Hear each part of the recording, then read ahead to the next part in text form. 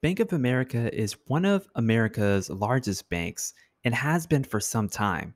It's been around for many decades and has gone through a roller coaster of ups and downs as the economic tides of the country have changed along with it. So, what's behind this bank and what makes it so powerful and interesting today? And should we even look at the stock? We're going to discover all these things today here on Stock Stories.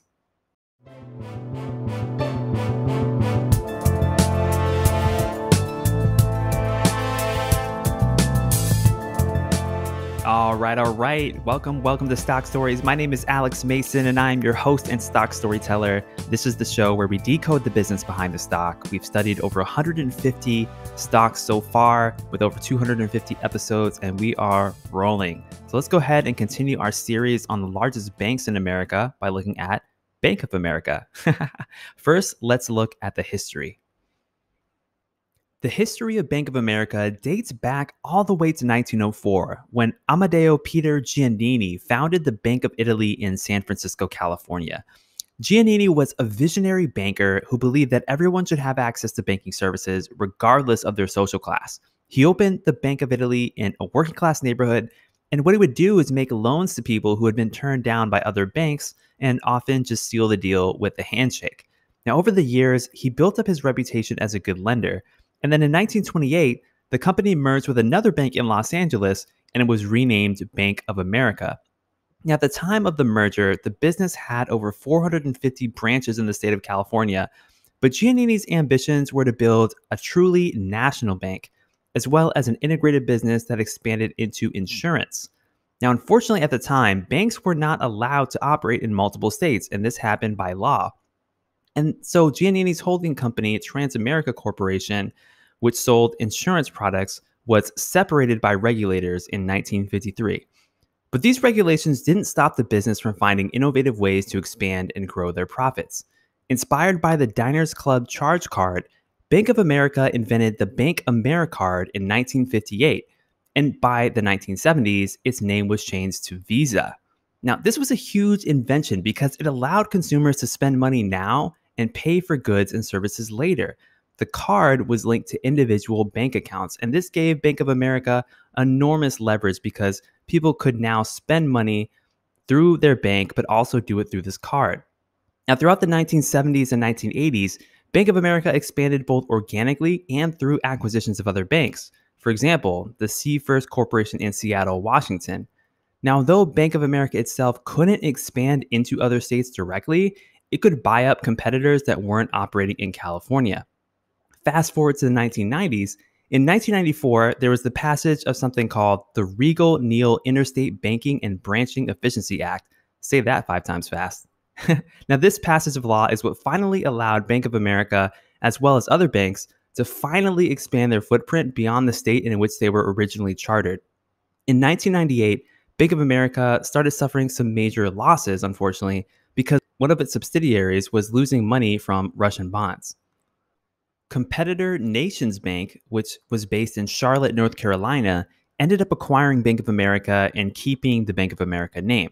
Now, at this point, the bank had expanded substantially, and by the turn of the millennium, the combined business had over 4,800 branches in 22 states. Then, throughout the next decade, things were going all right for Bank of America, and it started to recover. But then at the beginning of 2008, tragedy struck again. Bank of America purchased home mortgage company Countrywide Financial for $4.1 billion. Now, this seemed like a good idea at the time because it allowed Bank of America to control at least 20% of the home mortgage market, which was a pretty profitable market. Now, even though executives liked this acquisition, it was fraught with problems, as Countrywide had a history of engaging in discriminatory lending practices to Black and Latino borrowers, not to mention making bad loans during the early to mid 2000s. Now, in hindsight, Countrywide Financial's activities were a major contributor to the subprime mortgage crisis that followed. But because Bank of America now owned this company, they had to bear the burden of the losses and fines associated with the fallout. Since the acquisition, Bank of America has paid over $23 billion in fines. This includes a $16 billion fine, the largest civil settlement in American history. Ouch. Now, the stock price fell significantly and it took many years to recover. as Bank of America cleaned up the mess left over from the financial crisis. Now, around this time, Bank of America also acquired Merrill Lynch, an investment management and banking business that was on the verge of collapse. So it was forced to acquire that business by federal regulators, but in return, it was given over $45 billion in bailout money. So, from the time of the financial crisis to about 2014, the bank downsized and cut thousands of jobs as it dealt with falling revenue and litigation costs related to its beleaguered assets. But in 2015, the bank returned to growth, and over the next several years, it began opening up new branches in other cities, for example, in Denver, Pittsburgh, and Cincinnati. Now, Bank of America has risen again to the second largest bank by deposits in the country with $1.7 trillion in deposits. It is second only to JP Morgan Chase with $2 trillion. So, Bank of America has definitely recovered and is now currently thriving. Let's now turn our attention to the business model of this company in the present day. Bank of America technically has eight lines of business, but that just seems like a lot to me. We can really consolidate this into a couple specific business areas. First of all, there's the consumer banking segment, which houses retail banking and preferred banking. Essentially, this is what you and I, as regular consumers, would do as far as our interactions with the bank, opening things like checking accounts, savings accounts, that kind of thing. Then you have global wealth and investment management. This is where the Merrill business comes in, working with high net worth individuals as well as the private bank for estate planning. Basically, this is where wealthy people go to have their money managed and advised by Bank of America. Then you have the global banking segment. This is where you have things like corporate and investment banking, as well as business banking. So, helping businesses buy and sell each other, perform different types of capital transactions. That's this segment of the business. And then there's global market. Fundamentally, Bank of America has a business model that's very similar to other large financial institutions. It takes in money for deposits, pays out a certain amount of interest on that cash, and then lends out money to both individuals and businesses at a higher rate. That's fundamentally what Bank of America does. And it also has these other lines of business like the wealth management, where it manages money on behalf of clients and takes a cut of the assets under management as its fee, and then also has investment banking activities where they collect fees for helping businesses merge, uh, acquire other businesses, and raise capital. So that's how Bank of America makes money. It's very similar to other large banks that we study, like a Goldman Sachs or a JP Morgan Chase, but probably a little bit more similar to a JP Morgan Chase.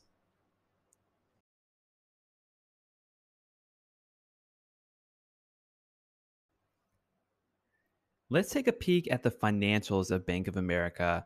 Right now, I'm looking at the first quarterly report of 2023 for Bank of America. And one thing that we can see is the average loan and lease trends. Remember, banks primarily make money off of the loans that they have. So we want to generally see loan growth because that's going to increase the interest income that that bank is going to generate. So total loans and leases in terms of billions of dollars at the beginning of 2022, they had about $978 billion in loans and leases. Fast forward a year later to first quarter 2023, just over a trillion dollars in loans and leases. That's a 7% year over year increase. So, yeah, decent growth here. It's nothing super, super exciting as far as a fast growing business, but hey, this is what you would want to see for a business as large as Bank of America is. You would want to see this kind of growth. And then that's broken down here in terms of the different business segments. What I'm really loving here is that between the different segments of Bank of America, between consumer banking, global banking, et cetera, we can see mid single digit growth across all these segments, which means that the business is very diversified. There's no one segment here that's taking up all of the action here in terms of the financial assets and therefore the revenue of Bank of America. So I like to see that. It's a pretty diversified financial business and seems like a pretty strong bank. Getting a little bit more into the nitty gritty here, I'm looking at the latest 10K filing for Bank of America, the selected annual financial data in Table 6. And this is just showing some basic facts for, from the income statement of the company. And what I'm seeing here is a gradual growth in interest income because, hey, interest rates have gone up. So it should positively affect the bank there.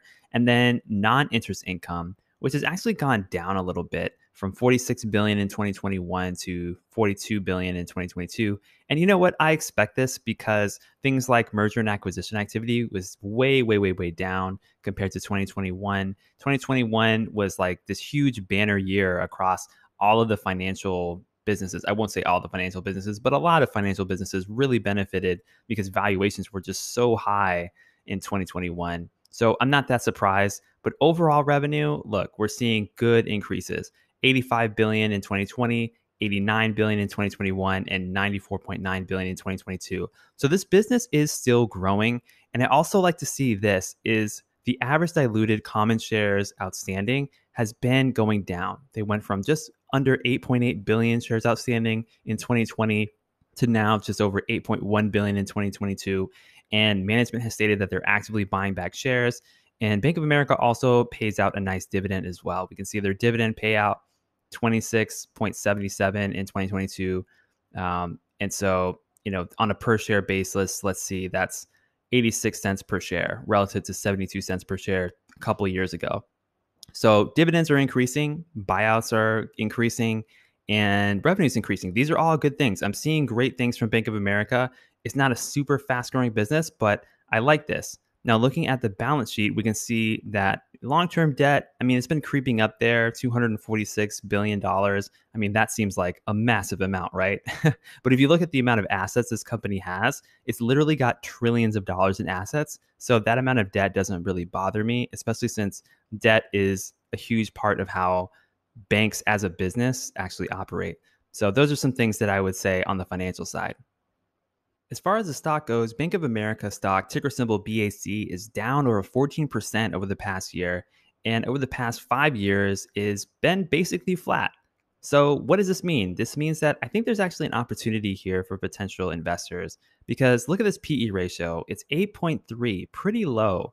And I know also from looking at the price to book ratio, the price to book ratio is under one, which means that it's trading for less than the technical net worth of the business based on its balance sheet. So I think Bank of America is trading at a decent value here with that 3% dividend yield. Add to that the growth of the dividend, add to that a decent amount of share buybacks, taking down the share count a few percentage points per year. You really only need organic revenue growth somewhere in the 5 to 6% range to get double digit returns. So I think Bank of America is trading pretty fairly here. Um, maybe not incredibly cheap, but definitely not expensive. I would say this is on the lower end of fair value uh, from my estimation based on what I've seen. So that's what I got for you today. This is Alex Mason with Stock Stories, and I'll see you on the next one.